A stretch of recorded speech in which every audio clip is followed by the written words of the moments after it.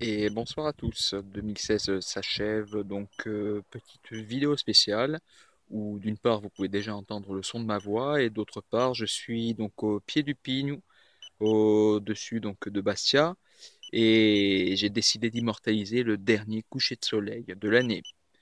Donc là euh, j'ai un splendide contre-jour qui masque à moitié mon visage, c'est parfait pour l'incognito et peut-être que vous entendez déjà les bips du timelapse en cours de réalisation. J'espère que vous apprécierez bien.